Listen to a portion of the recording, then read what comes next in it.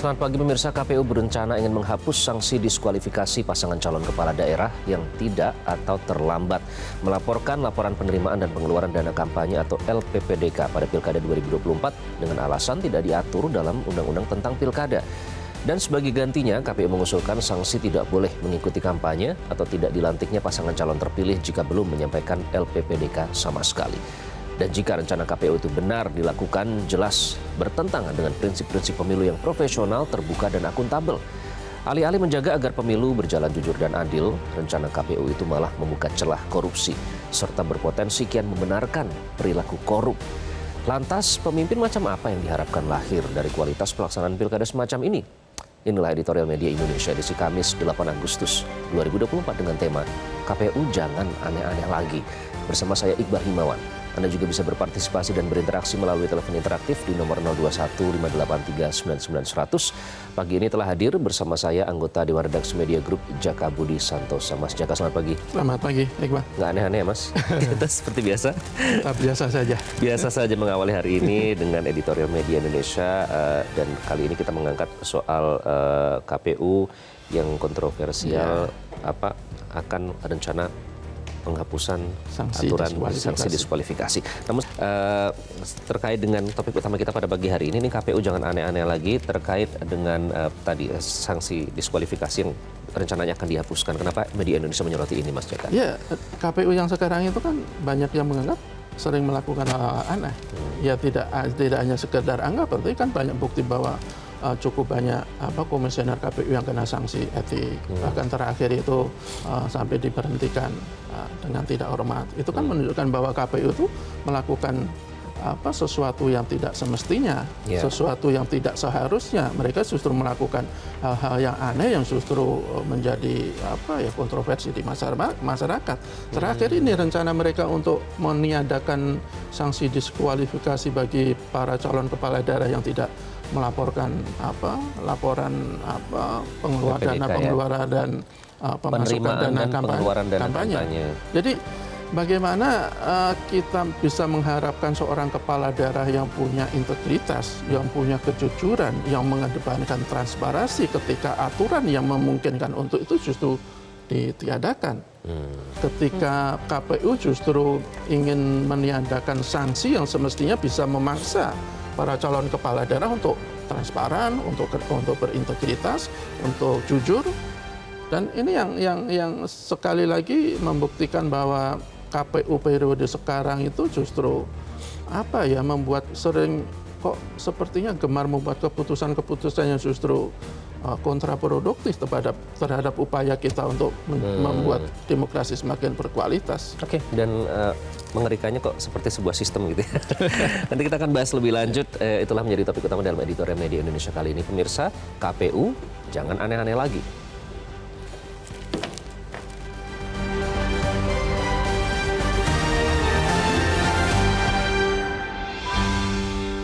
KPU, jangan aneh-aneh lagi.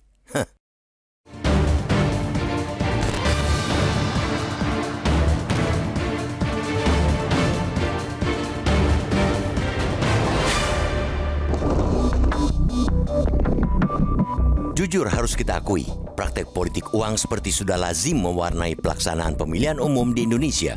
Yang paling kasat mata dan sering terjadi adalah pemberian bantuan, baik berupa barang atau uang untuk memengaruhi calon pemilih agar memberikan suaranya kepada calon atau kandidat tertentu. Politik uang sejatinya bukan cuma perkara jual beli suara semacam itu, melainkan keseluruhan tindakan dalam setiap tahapan pemilu yang dapat dipengaruhi oleh uang, termasuk dalam kegiatan kampanye. Itu sebabnya sungguh aneh dan sulit diterima akal sehat jika KPU justru berencana ingin menghapus sanksi diskualifikasi pasangan calon kepala daerah atau cakada yang tidak atau terlambat melaporkan laporan penerimaan dan pengeluaran dana kampanye atau LPPDK pada pemilihan kepala daerah atau Pilkada 2024. Sebagai gantinya, mereka mengusulkan sanksi berupa tidak boleh mengikuti kampanye maupun tidak dilantiknya pasangan calon terpilih jika belum menyampaikan LPPDK sama sekali. KPU beralasan sanksi diskualifikasi tidak diatur lewat Undang-Undang Nomor 10 Garis Miring 2016 tentang Pilkada. Rencana ini jika benar dilakukan jelas bertentangan dengan prinsip-prinsip pemilu yang telah diatur dalam pasal 3 Undang-Undang Nomor 7 Tahun 2017 tentang pelaksanaan pemilu yakni profesional, terbuka, dan akuntabel. Prinsip-prinsip itu diatur antara lain untuk mewujudkan pemilu yang adil dan berintegritas serta menegakkan praktik ketatanegaraan yang demokratis. Maka sungguh aneh jika KPU sebagai pelaksana pemilu justru ingin merobohkan prinsip luhur itu. Alih-alih menjaga agar pemilu berjalan jujur dan adil, rencana itu malah membuka kemungkinan celah korupsi. Mestinya justru sanksi yang harus dipertegas, bukan malah membuat pelonggaran selonggar-longgarnya dengan menghapus sanksi. Apa yang direncanakan KPU itu juga berpotensi kian membenarkan perilaku korup. Hah. Lagi pula, kewajiban atas keterbukaan aset merupakan aspek krusial dalam upaya menciptakan pemerintahan yang transparan dan akuntabel. Itu sebabnya Komisi Pemberantasan Korupsi atau KPK mewajibkan pengisian laporan harta kekayaan penyelenggara negara atau LHKPN bagi calon kepala daerah karena merupakan bentuk transparansi kepemilikan aset. KPK bahkan sudah mengeluarkan edaran untuk penyerahan data itu agar masyarakat bisa memantau Indikasi korupsi bisa terendus dari LHKPN yang dilaporkan oleh para penyelenggara negara. Langkah itu penting untuk memastikan tidak adanya peningkatan kekayaan yang tidak wajar yang bisa menjadi indikasi adanya praktik korupsi atau penyalahgunaan jabatan. Penyerahan LHKPN calon kepala daerah merupakan bentuk komitmen kejujuran dalam tata kelola pemerintahan.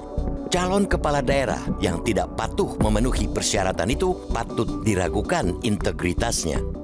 KPU yang belakangan banyak disorot lantaran kinerjanya yang amburadul, huh, dari mulai kasus dugaan asusila hingga sibuk dengan sejumlah tuntutan dari honor perjalanan dinas hingga pembagian kendaraan dinas, sebaiknya memperbaiki diri. Huh.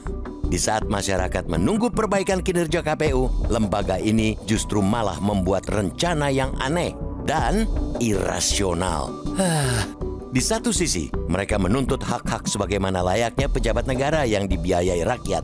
Tapi di sisi lain, mereka enggan melindungi kepentingan masyarakat. Jika penyelenggara pemilu saja sudah menabrak asas dan prinsip pemilu, pemimpin macam apa yang diharapkan lahir dari kualitas pelaksanaan pilkada semacam ini? Huh? Harus tegas dikatakan, KPU telah gagal menjadi lembaga yang objektif, independen, dan menomorsatukan kepentingan bangsa. Jangan keluhkan rakyat jika mengkritik mereka hanya memikirkan kepentingan pribadi dan melayani pihak dan golongan tertentu.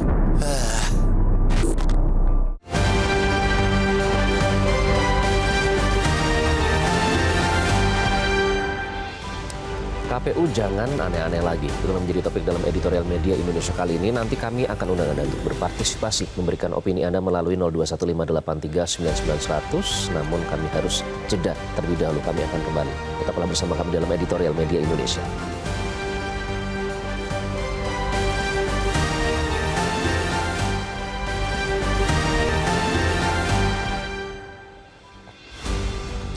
Anda kembali di editorial media Indonesia, pemirsa, dan saat ini kita membahas terkait dengan rencana penghapusan sanksi diskualifikasi pasangan calon kepala daerah yang tidak atau terlambat melaporkan LPPDK pada pemilihan kepala daerah 2024 nanti. Untuk membahas lebih lanjut, kita langsung bergabung bersama dosen pemilu Fakultas Hukum Universitas Indonesia, Titi Anggraini. Mbak Titi, selamat pagi, apa kabar? Selamat pagi, Mas Iqbal. Alhamdulillah, kabar baik. Alhamdulillah sehat, Mbak Titi. Apa dampaknya kalau sanksi diskualifikasi ini dihapus dalam tahapan pilkada kali ini, Mbak Titi?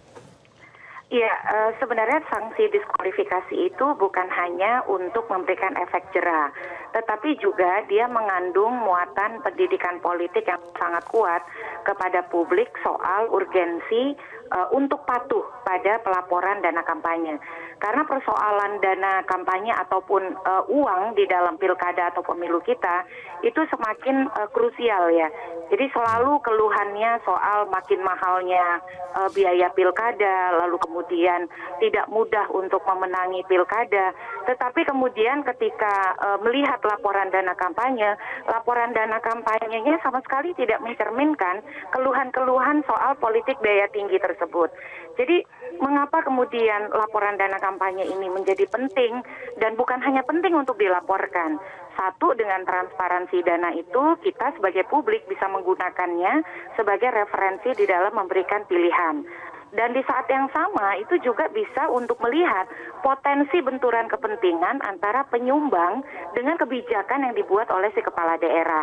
Nah, karena pentingnya posisi uh, laporan dana kampanye itu, selain juga dia merefleksikan komitmen integritas ya dari si calon kepala daerah. Kalau memang dananya bersumber dari dana-dana ilegal, tidak ada perlu eh, hal-hal uh, yang dikhawatirkan untuk melaporkan.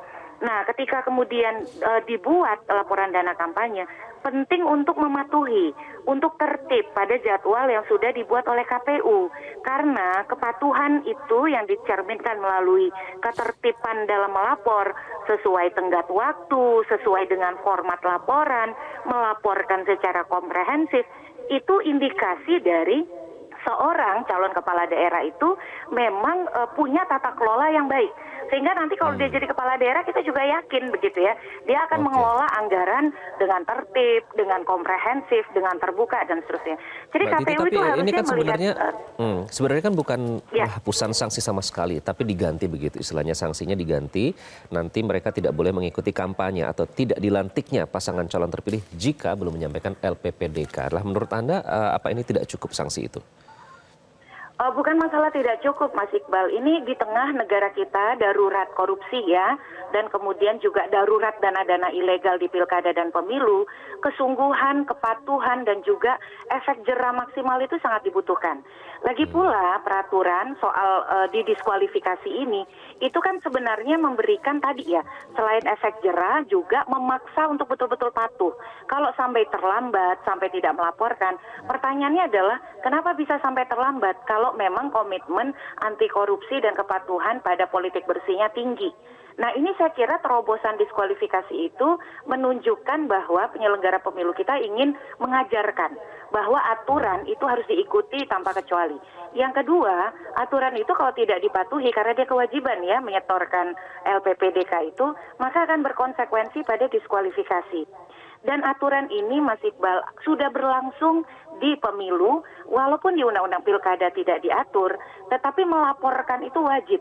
Yang namanya wajib kalau tidak diikuti pasti ada konsekuensi. Nah, konsekuensi ini yang diatur oleh KPU sejak pilkada 2015.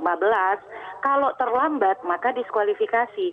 Karena tadi KPU-nya mau bilang akan melaporkan penerimaan dan pengeluaran dana kampanye atau LPPDK itu adalah wajib. Kalau sesuatu itu wajib tidak dipenuhi sesuai dengan kerangka waktu yang sudah diberikan, maka konsekuensinya ya diskualifikasi. Bukan kemudian wajib, tapi kalau tidak diserahkan nanti pelantikannya didelay. Kalau seperti itu, ya tidak akan memberikan kepatuhan yang maksimal okay. begitu. Karena pasangan calon akan merasa ya tunda-tunda sajalah lapornya. Padahal kita ingin melihat yang namanya contoh deh kalau di pemerintahan. Kalau sudah diperintahkan tenggat pengesahan APBD, kalau tidak pasti ada konsekuensi.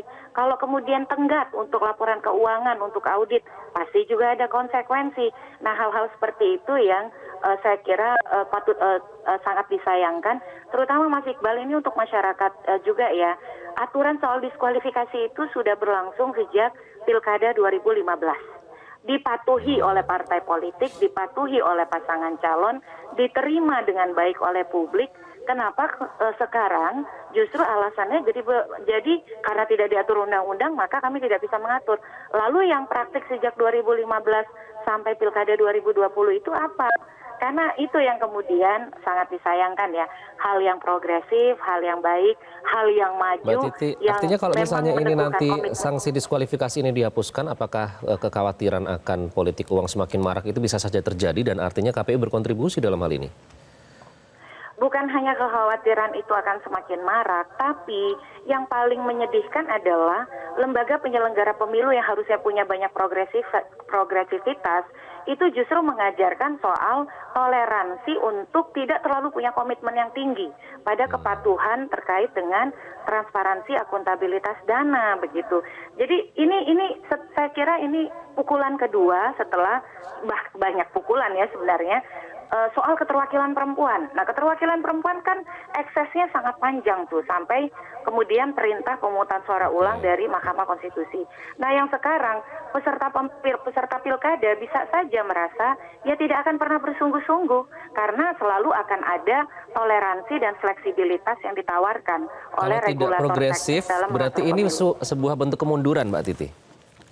Oh sudah pasti. Ini pengaturan yang sejak 2015 ada, tapi justru di 2024 malah eh, derajatnya diturunkan begitu Mas Iqbal. Oke, baik Mbak Titi, terima kasih sudah bergabung dengan editorial Media Indonesia. Mas Jaka ini bentuk kemunduran, bukannya melakukan langkah-langkah yang progresivitas untuk mendukung iklim demokrasi di pilkada, tapi malah mundur gimana Mas? Iya, kalau kita lihat dari alasan KPU itu kan sulit ya untuk kita terima ya. Hmm. Katanya ini eh, sanksi diskualifikasi itu kan tidak diatur di undang-undang. Iya. Loh kalau tidak diatur di undang-undang tadi betul kata Mbak Titi loh, sejak 2015 sudah diberlakukan Dan dipatuhi oleh dan semua pihak. dipatuhi oleh semua Hmm. pihak meskipun ada beberapa cakada ca- calon kepala daerah yang mungkin juga terlambat mungkin juga tidak melaporkan secara benar tetapi kan sudah sudah sudah eh, bisa dilaksanakan Jadi selama bisa, ini itu bisa apa? dilakukan Selama Terus ini pelanggaran itu apa? undang-undang. iya berarti selama ini eh, K- KPU melanggar undang-undang begitu kan ini pertanyaan jadi alasan-alasan ini menurut saya kok justru eh, hanya sekedar menjadi pembenar ya bahwa KPU itu sebenarnya ya ingin bersikap ramah terhadap calon-calon kepala daerah saja. Efek jerah itu tidak bisa didapatkan dari memberikan sanksi tidak boleh ikut kampanye atau tidak dilantik nanti. Ya kalau kalau terpilih. kalau dari dari sanksi pengganti itu kan sebenarnya kan ada empat ya. Pertama adalah uh, uh, peringatan, kemudian dilarang kampanye, kemudian yang ketiga itu adalah uh, akan diumumkan kepada publik dan yang keempat adalah tidak apa? dilantik. Uh, sebagai calon uh, terpilih ditunda sampai mereka melaporkan apa L- LPPDK. Tapi kan kalau kalau kalau ini kan jauh lebih ringan daripada sanksi yang ada sebelumnya di diskualifikasi. Ini nanti bisa di, uh, dilantik, bisa terpilih selama sudah melaporkan LPPDK. Kalau sebelumnya kan nggak begitu dia melakukan pelanggaran, begitu mereka terlambat, begitu mereka tidak patuh melaporkan LPPDK, ya dia diskualifikasi. Dan itu emang seharusnya yang dilakukan oleh oleh negara yang diwakilkan oleh KPU untuk membuat apa pemilu itu betul-betul menghasilkan apa para pemimpin yang punya integritas tinggi, yang patuh pada pada peraturan, yang jujur, yang betul-betul apa baik bagus uh, dalam tata kelola keuangan sehingga mereka bisa bisa sehingga publik itu bisa mengharapkan pemimpin-pemimpin yang mereka pilih itu, dilakukan benar-benar sejak awal sebagai kualitas. dilakukan sejak awal sebagai bentuk edukasi politik juga Iya, Eh, dan iya. mereka bisa memonitor langsung ya. Jadi kalau kita berbicara tentang yang diuntungkan dan dirugikan, yang diuntungkan siapa? Jika sanksi ini dihapuskan. Ya, yang diuntungkan jelas calon-calon kepala daerah yang uh, niatnya tidak baik. Itu mereka akan semakin apa? Tidak semakin, baik itu maksudnya seperti apa ya, prosesnya? Ya, salah satunya kan eh, banyak banyak sumbangan-sumbangan yang mungkin tidak sesuai dengan aturan misalnya. Itu Hmm. kalau di, di, di apa dilaporkan dan eh, dinilai tidak benar, itu kan bisa ada sanksi. Tapi Hmm. kalau nanti mereka tidak melaporkan kemudian hanya dika, dikasih sanksi yang uh, cukup ringan kan mereka jadi tidak takut-takut lagi untuk melakukan apa ketidakpatuhan seperti itu kan. Jadi sebenarnya KPU itu semestinya menge- seharusnya mengembangkan sanksi-sanksi yang lebih tegas atau paling tidak betul-betul apa uh, menjalankan apa uh, aturan yang sudah ada terkait dengan sanksi itu bukan malah membuat sanksi yang justru apa lebih lebih ringan. Artinya kan makin banyak nanti calon kepala daerah yang akan membuka celah korupsi seperti itu. Iya bisa jadi nanti mereka calon-calon kepala daerah itu akan uh, ya main berlambat-lambat untuk melamporkan uh, apa laporan awal misalnya, kemudian juga tidak terlalu peduli dengan EPPDK atau sanksinya uh, cuma sekedar peringatan, dilarang kampanye dan dan segala macam. Dan seharusnya mereka kan wajib mem- apa, mematuhi kewajiban itu kan. Jadi kalau cuma sekedar sanksinya malah diperingan ya kita khawatir mereka akan semakin abe dengan kewajiban-kewajiban seperti itu. Jangan-jangan bentuk kampanye mereka itu bukan kampanye yang ketemu publik, tapi Ya. di ruang gelap itu sebenarnya dikhawatirkan akan semakin subur ya Mas. Iya, kan laporan jika laporan dan tidak kampanye itu kan sebagai sebuah kewajiban agar publik, agar KPU itu kan bisa memonitor kan. Hmm. Ini dananya dari mana, melebihi batas sesuai yang di apa gariskan atau tidak. Kalau untuk kepala daerah itu kan untuk sumbangan dari pihak swasta, badan hukum swasta atau partai politik itu kan maksimal 750 juta. Juta. Kemudian untuk dari individu atau perseorangan itu kan sekitar 75 juta. Itu kan sudah sudah aturan-aturan itu sudah dibuat agar tidak ada praktek-praktek yang apa akhirnya bisa berbuntut pada apa persekongkolan antara calon pemimpin dengan pihak-pihak tertentu. Ini yang sebenarnya aturan-aturannya harus betul-betul ditegas ditegakkan, harus betul-betul diwajibkan agar para calon pemimpin itu patuh terhadap ketentuan itu bukan malah memberikan kelonggaran untuk bagi mereka untuk paling tidak mengabaikan aturan-aturan seperti itu. Baik, kenapa penting bagi masyarakat untuk punya referensi terhadap calon kepala daerah mereka yang uh, dari awal sebenarnya bisa diukur ya Mas dari Ya. uh, kemauan dan kemampuan mereka memberikan laporan tersebut. Nanti kita akan bahas lebih lanjut dan kami akan undang Anda untuk berpartisipasi. Usai jeda, tetaplah bersama kami.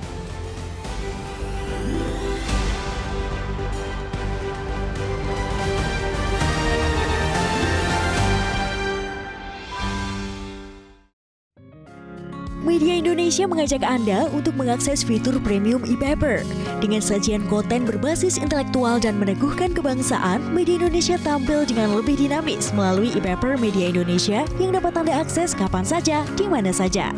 Caranya mudah, download aplikasi Media Indonesia di Android atau ketik link e-paper.mediaindonesia.com atau bisa scan QR code pada layar kaca Anda. Klik tab e-paper di bagian samping layar tablet Anda, daftarkan data diri, serta pilih paket perlangganan e-paper Media Indonesia sesuai dengan kebutuhan Anda. Nikmati juga bonus spesial tambahan 4 halaman rubrik fokus setiap hari. Semua bisa Anda dapatkan hanya di e-paper Media Indonesia. Untuk informasi lebih lanjut, hubungi customer service di nomor 0811 1201 2018 atau kunjungi media sosial at Media Indonesia. Media Indonesia, referensi bangsa. Anda kembali di editorial Media Indonesia, pemirsa kita masih membahas terkait dengan rencana penghapusan sanksi diskualifikasi terhadap pasangan calon kepala daerah yang tidak atau terlambat melaporkan LPPDK pada Pilkada 2024 kali ini. Seperti biasa kami akan berikan Anda ruang untuk menyuarakan pendapat Anda, masyarakat publik dalam editorial Media Indonesia kali ini. Yang pertama kita akan sapa Ibu Upi yang ada di Jakarta. Ibu Upi, selamat pagi. Selamat pagi. Bagaimana Ibu menanggapi rencana penghapusan sanksi diskualifikasi ini, Bu? Yang KPU ya, KPU Iya. dan macam-macam. Ya, menurut saya sih udah mulai dari ini tuh masyarakat sudah tahu ya, ini ada intervensi dari penguasa ya, gitu. Ini Maksudnya kita- dalam bentuk apa, Bu? ya mungkin ada ada nanti ada perubahan-perubahan aturan atau itu bagaimana Eh, kita nih kemarin KPU-nya sudah ganti kepalanya pun kalau masih intervensinya kuat sekali ya menurut saya.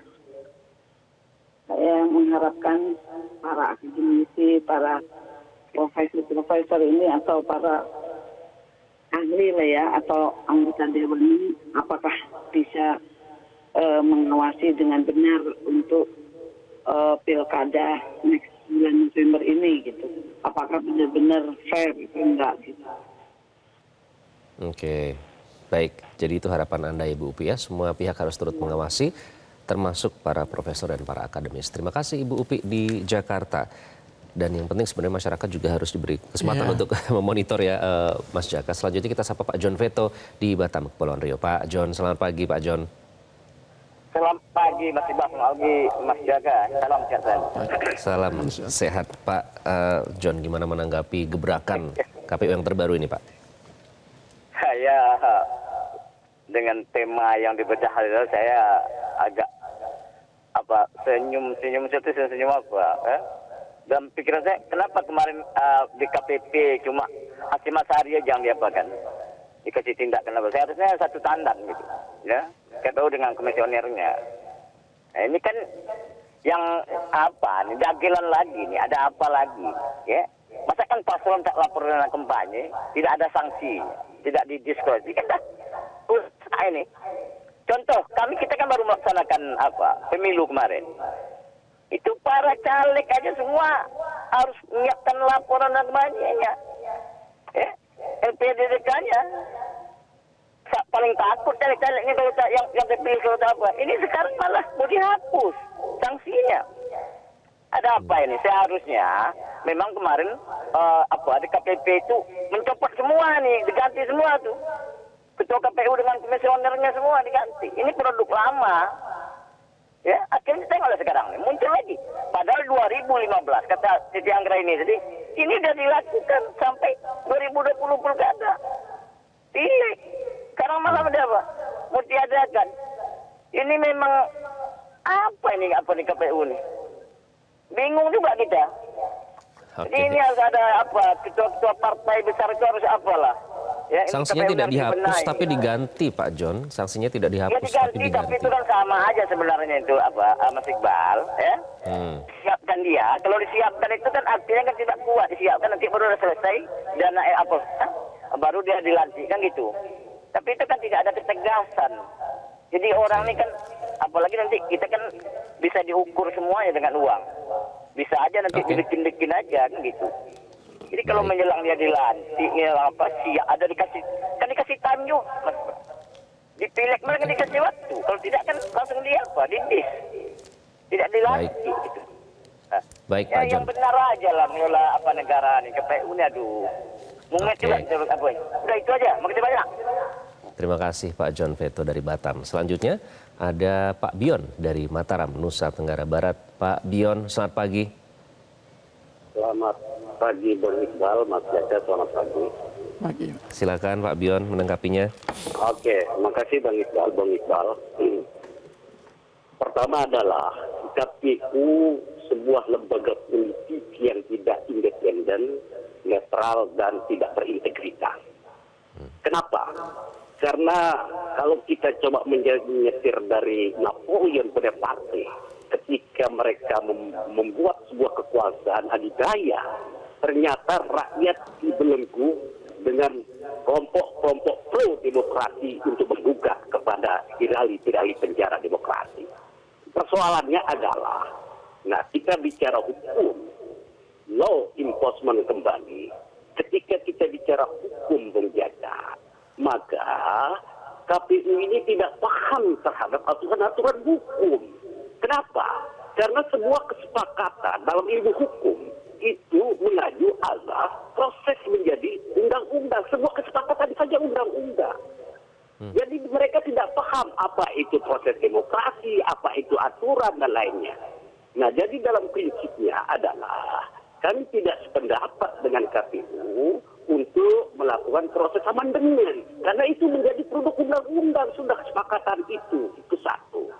Lalu yang kedua, dalam proses aturan-aturan yang dilakukan oleh KPU ini, ini hanya berpihak kepada eh, katakanlah papan lampu merah yang dilakukan oleh kelompok birokrasi mengintervensi KPU dalam hal ini. Semua lembaga negara yang ada di Republik kita ini diintervensi oleh pemerintah.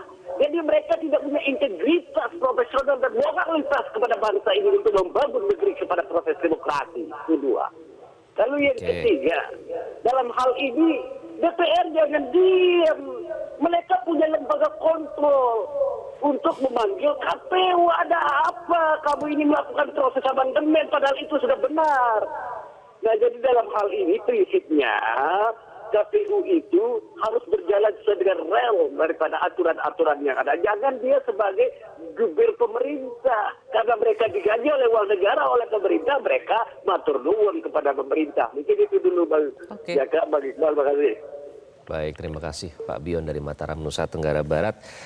Jadi independensi dan integritas yang dipertaruhkan di sini, Mas. Tapi eh, ada pernyataan yang menarik ya dari Idam Kolik sebelumnya, tapi kita menanggapi dulu dari Ya. para penelpon bagaimana Anda menanggapi itu, Mas? Ya, eh, ini kan menunjukkan bahwa publik paling tidak eh, tiga penelpon tadi ya semakin mempertanyakan apa kinerja KPU. Kenapa mereka tidak memperbaiki diri misalnya setelah citranya begitu rusak uh, akibat kejadian-kejadian sebelumnya, tetapi justru membuat apa langkah-langkah yang di mata publik justru bertentangan dengan apa prinsip-prinsip demokrasi yang berkualitas, prinsip-prinsip demokrasi yang semestinya terus kita pupuk, kita uh, semakin sehatkan, bukan malah kita membiarkan demokrasi itu bertambah sakit. Ya. Itu kan yang yang yang yang menjadi permasalahan di mata publik. Dengan menghapuskan sanksi diskualifikasi apa pun alasannya itu akan membuat efek jerah semakin longgar. Para calon kepala daerah tidak akan takut-takut lagi untuk apa berlambat-lambat melaporkan uh, laporan dana kampanye atau bahkan tidak melaporkan sambil nanti menunggu umpamanya uh, terpilih baru dia akan melaporkan bisa saja mereka seperti itu kan. Jadi mereka sudah sudah uh, menggunakan dana kampanye yang kemungkinan tidak sesuai dengan aturan ya soal nanti laporan urusan belakang soal nanti tergantung menang atau kalahnya. Itu kan kemungkinan-kemungkinan yang semestinya bisa diantisipasi oleh uh, KPU bukan malah memberikan apa peluang-peluang bagi para calon kepala daerah untuk tidak patuh pada ketentuan-ketentuan yang sudah digariskan uh, dengan Yang undang-undang. dikhawatirkan Mas Jaka tadi kalau kita menarik benang merahnya ya, ada kekhawatiran tadi di awal jangan-jangan ini ada suatu bentuk intervensi. Ya. Yang dikhawatirkan yang lain adalah ini apa eh, mempengaruhi independensi. Itu kan ada eh, kaitannya di situ ya. Iya, dugaan-dugaan publik ini kan karena mereka sudah berkaca dari pengalaman-pengalaman sebelumnya ya, bagaimana KPU itu dalam beberapa kasus uh, mengindikasikan bahwa mereka tidak independen, bahwa mereka tunduk pada kepentingan kelompok tertentu, kelompok kekuasaan tertentu. Diduga jadi ya. diduga. Jadi jadi publik jadi agak uh, semakin apa ya, semakin ada kecurigaan ketika ada langkah-langkah KPU yang mereka nilai tidak sesuai dengan prinsip-prinsip demokrasi, ya mereka menduga-duga apakah ini ada intervensi lagi, apakah ini ada campur tangan dari pihak-pihak lain lagi. Itu saya kira sebuah sebuah sikap yang ya yang lumrah. Dan dan semestinya KPU menyikapi apa eh, tanggapan-tanggapan publik seperti ini dengan eh, bersikap hati-hati dengan bekerja dengan betul-betul lurus pada rel bagaimana membangun demokrasi yang yang baik bukan malah sebaliknya dengan membuat peraturan peraturan atau paling tidak akan membuat peraturan-peraturan yang justru uh, mengganggu proses demokrasi berjalan sesuai dengan yang kita harapkan. Hmm, ini kan eh, kalau ngomong rel dan koridor ini berbeda Mas KPU dengan KPK. Iya. Pada saat KPK push ya mendorong supaya LHKPN harus segera diserahkan untuk memenuhi aspek transparansi. Nah, ini malah sebaliknya begitu Anda melihat dari komitmen itu. Iya, eh, sekali lagi kan laporan-laporan kalau di, di, di eh, kalau sudah bagi para pejabat yang sudah menjabat eh, di pemerintahan itu kan dia punya kewajiban untuk melaporkan LHKPN. Tetapi meskipun kita juga juga masih mempertanyakan efektivitasnya seperti apa, karena sekali lagi sanksinya juga tidak jelas kok. Di LHKPN kan juga tidak jelas Eh, kalau nanti eh, apa pejabat terlambat atau tidak melaporkan, nah, KPK hanya merekomendasikan ke atasan langsung. Soal nanti atasan itu memberikan sanksi atau tidak, selama ini kita tidak bisa tidak pernah bisa apa? Menyaksikan kan? Apakah mereka sudah dikasih atau tidak? Bahkan eh, antar kementerian antar lembaga sanksinya juga berbeda-beda. Di salah satu kementerian misalnya ketika ada pejabatnya tidak eh, melaporkan LHKPN dia paling dikasih sanksi cuma sekedar teguran peringatan 11-12 dong berarti. Ya, 11-12. Tapi itu nanti topik lain ya soal Iya. KPK.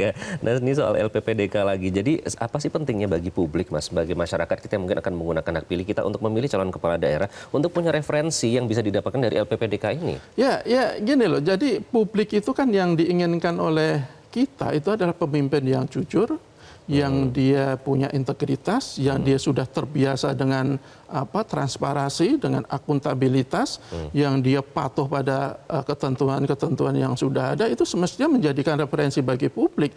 Tapi ketika apa upaya untuk itu justru diganggu, justru dilemahkan oleh uh, institusi yang semestinya menguatkan, ya kita jadi bertanya-tanya sebenarnya institusi ini, KPU ini, ini bekerja untuk apa? Siapa? Saya Untuk tidak apa? bisa siapa untuk apa? Untuk apa? Apakah untuk untuk apa?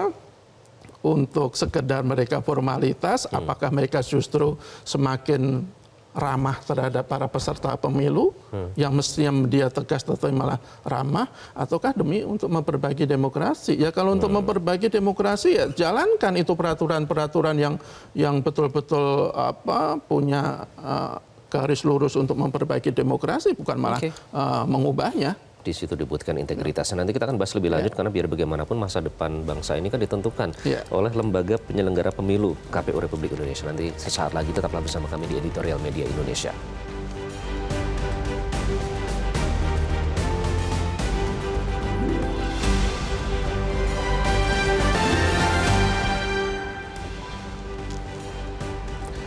Ada kembali di Editorial Media Indonesia, Mas Jaka, eh, saya ingin membacakan kutipan dari hasil wawancara dengan Mas Idam Kholik ya, Komisioner KPU, eh, yang menyatakan bahwa dalam pasal 76 Undang-Undang Nomor 10 Tahun 2016 UU Pilkada ini pembatalan hanya terjadi apabila paslon menerima sumbangan terlarang. Nah, menimbang soal tersebut, jika mengatur lebih lanjut dan teknis, sepatutnya pengaturannya tidak melebihi, tidak melebihi batas yang diberikan undang-undang, karena jika itu dilakukan akan membuat lembaga penyelenggara pemilu menjadi super body. Bagaimana Anda menanggapi itu? Ya kalau itu alasannya kenapa sejak 2015 aturan itu tetap ada. Aturan diskualifikasi itu tetap diberlakukan. Eh, Pilkada 2020 juga eh, diberlakukan. Jadi menurut saya tidak tidak apa sulit diterima ya alasan seperti itu dan tidak ada salahnya toh selama itu juga tidak ada masalah kok. Dan itu tidak tidak tidak tidak membuat KPU itu dianggap sebagai lembaga yang super body. Di atas Ya, undang-undang Di atas undang-undang saya kira tidak. Itu kan soal teknis kan sebenarnya. Soal teknis yang bisa dilakukan oleh KPU selama tidak melanggar undang-undang. Dan eh, selama ini kan buktinya juga tidak ada yang mempersoalkan aturan disiplin meskipun dalam undang-undang apa pilkada yang tidak secara tegas diatur soal sanksi apa diskualifikasi ini kan. Jadi menurut saya ya selama selama aturan itu baik bagi bagi apa terselenggaranya sebuah pemilu yang berkualitas, pemilu yang bisa menghasilkan para pemimpin yang berkualitas, yang punya integritas, itu ya tidak ada salahnya. Tetapi ketika justru dia ubah menjadi uh, yang berpotensi untuk membuka celah korupsi, berpotensi untuk melahirkan apa kong kali kong atau persekongkolan antara calon-calon pemimpin dengan para oligarki, berpotensi untuk membuat politik uang itu semakin merajalela ya, ya itu justru merupakan langkah yang uh, langkah-langkah mundur, bukan bukan langkah maju. Dan ini yang yang yang perlu kita ingatkan kepada KPU. Ya menurut saya lebih baik buatlah aturan-aturan yang yang yang yang baik, yang tidak aneh-aneh seperti untuk menghapuskan apa Sanksi sanksi, diskualifikasi. diskualifikasi ini. Hmm, Oke, ini kan sudah ada pendaftaran nanti akan dibuka 27 sampai 29 Agustus, artinya tahapan sudah semakin dekat. Ya. Tentu kita melalui forum ini selalu melihat ke depan ya, Mas Jaka. Kita mengingatkan dan Ya. kita harapkan ada perubahan dan solusi karena ujung-ujungnya memang untuk kepentingan rakyat begitu sebagai mereka nanti akan memilih calon kepala daerah. Jadi mengapa harus mendengarkan suara rakyat dan ap- apa ya, apa nanti yang akan eh, apa image-nya terhadap citra KPU itu nanti eh, akan berdampak seperti apa terhadap sanksi diskualifikasi Ya. kalau dihapuskan? Ya kan pemilu itu yang uh, menjalankan adalah rakyat itu untuk rakyat kan. Ya jadi suara rakyat harus didengarkan. Yang pasti kan rakyat tidak ingin pemimpin mereka nanti itu yang tidak jujur. Saya kira tidak ada satupun uh, rakyat kita yang ingin pemimpin mereka itu mereka yang tidak patuh pada ketentuan-ketentuan, yang tidak patuh pada aturan untuk melaporkan laporan dana kampanye sesuai peraturan. Saya kira semua seluruh rakyat itu dengan para pemimpin itu betul-betul punya integritas, punya transparansi, mengedepankan akuntabilitas, dia apa baik dan apa hebat dalam tata kelola keuangan sehingga nanti ketika dia memimpin sifat-sifat baik seperti itu akan, di, akan dibawa. Tetapi kalau sifat-sifat awalnya justru tidak berintegritas, tidak transparan, eh, tidak patuh pada ketentuan, ya kita khawatir ketika mereka terpilih sifat-sifat seperti itu yang yang akan dijalankan dalam mengelola pemerintahan dan ujung-ujungnya kan yang rakyat juga yang dirugikan. Jadi KPU menurut saya harus betul-betul mendengar apa yang di apa eh, keluhkan oleh masyarakat terhadap eh, kemungkinan untuk mengubah atau menghapuskan aturan soal diskualifikasi ini. Jangan jangan karena berdalih karena tidak undang-undang tidak mengatur seperti itu dengan alasan tidak ingin melebihi kewenangan yang diberikan dalam undang-undang kemudian apa uh, ingin mengubah seenaknya meskipun sebelumnya sudah uh, tidak ada persoalan apa-apa ketentuan soal diskualifikasi, diskualifikasi itu Ya, kan. artinya peran KPU di sini sebagai lembaga penyelenggara pemilu sangat penting dalam menentukan apa karakter-karakter kepala daerah yang nanti akan Oh, terpilih iya, dan memimpin iya, daerah-daerah iya. di Indonesia. Ya, baik buruknya pemimpin di pilkada itu salah satunya ditentukan oleh aturan-aturan KPU kan. Ya salah satunya sa- ini kalau aturan diskualifikasi bagi mereka yang terlambat atau tidak melaporkan apa LPPDK itu dihapus, ya pasti akan lahir pemimpin-pemimpin yang mungkin juga sangat kompromi dengan perilaku-perilaku koruptif. Itu yang kita yang kita khawatirkan. Jadi menurut saya citra KPU itu kan tidak terlalu bagus ya. Kasus-kasus sebelumnya itu menunjukkan antipati yang cukup tinggi dari kalangan masyarakat terhadap KPU. Semestinya mereka memulihkan citra itu. Bahkan dari pucuk pimpinannya soalnya. Dari pucuk pimpinannya, Pak Asim sudah tidak ada. Sebenarnya KPU komisioner KPU yang ada ini tadi sampai Pak Pak John Veto ya, dia meng- Iya. dia dia bilang semestinya Jubir. semua komisioner yang harusnya Iya. di- di- diganti. Diganti. Itu kan menunjukkan bahwa begitu begitu buruknya citra uh, KPU itu di sebagian masyarakat. Mereka harus memulihkan itu salah satunya cara salah satu caranya apa? Ya tegakkan aturan yang sudah ada, aturan-aturan yang baik sudah uh, yang sudah ada harus betul-betul dilaksanakan. Oke. Justru malah jangan melakukan apa langkah-langkah yang kontraproduktif terhadap upaya kita menyehatkan demokrasi. Baik, masih ada waktu ya Mas untuk Masih membuktikan masih itu ya. ada waktu. Paling tidak jangan uh, Mepet. jangan jadi lah masih ada itu waktu. apa untuk kan ini baru rencana ini kan. jangan jadi laks- uh, jangan jadi dilakukan lah Jangan menghapuskan sampai- diskualifikasi itu. Jangan sampai saat ini ada koruptor dan calon koruptor yang Iya. tersenyum mendengarkan peraturan ini. Terima kasih Mas Jaka. sama-sama. Iqbal. Sudah bergabung di editor Media Indonesia. Pemirsa di saat masyarakat menunggu perbaikan kinerja KPU, lembaga ini justru malah membuat rencana yang aneh dan irasional yang apabila nantinya diterapkan jelas akan menabrak asas dan prinsip pemilu. Jangan keluhkan rakyat yang terus mengkritik kinerja KPU yang dinilai hanya memikirkan kepentingan pribadi serta melayani pihak dan golongan tertentu jika KPU belum juga mampu mewujudkan pemilu yang adil dan berintegritas serta menegakkan praktik ketatanegaraan yang demokratis. Terima kasih Anda sudah menyaksikan editorial media Indonesia. Saya Iqbal Imawan dan selalu jaga kesehatan Anda. Sampai jumpa.